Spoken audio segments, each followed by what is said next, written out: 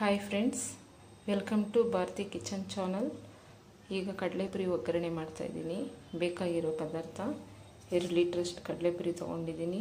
ನೂರು ಗ್ರಾಮ್ ಕಡಲೆ ಬೀಜ, ನೂರು ಗ್ರಾಮ್ ಕಡಲೆ, ಒಂದು ಟೀ ಸ್ಪೂನ್ ಜೀರಿಗೆ, ಅರ್ಧ ಟೀ ಸ್ಪೂನ್ ಸಾಲ್ಟು ಕರಿಬೇವು, ಒಣಮೆಣಸಿನ್ಕಾಯಿ, ಒಂದೆರಡು ಬೆರಳು, ಎಳ್ಳುಳ್ಳಿ ಮತ್ತು ಅರಿಶಿನ ಪುಡಿ.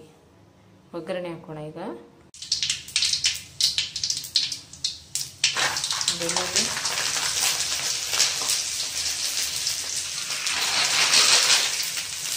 ಕಡಲೆ ಬೀಜ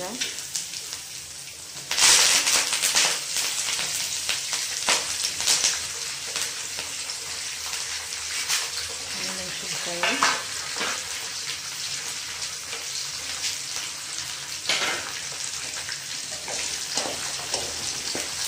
ಎಲ್ಲ ಫ್ರೈ ಆಗಬೇಕು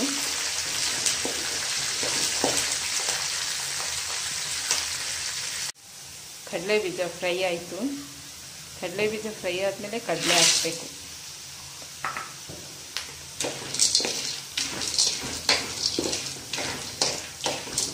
ಒಂದು ನಿಮಿಷ ಫ್ರೈ ಮಾಡೋಣ.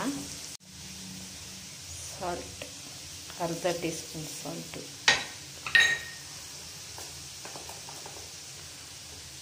ಅರಿಶಿಣ. ಮಿಕ್ಸ್ ಮಾಡ್ಕೊಳ್ಳೋಣ. ಮಿಕ್ಸ್ ಮಾಡಿ ಸ್ಟವ್ ಆಫ್ ಮಾಡಿ ಕಡಲೆಪುರಿ ಹಾಕಿ ಮಿಕ್ಸ್ ಮಾಡೋಣ. ಮಿಕ್ಸ್ ಮಾಡಬೇಕು.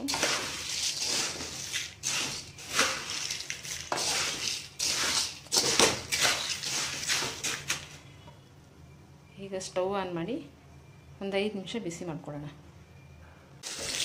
ಸ್ಟವ್ ಆನ್ ಮಾಡಿ ಒಂದು ಐದು ನಿಮಿಷ ಬಿಸಿ ಆದರೆ ಸಾಕು.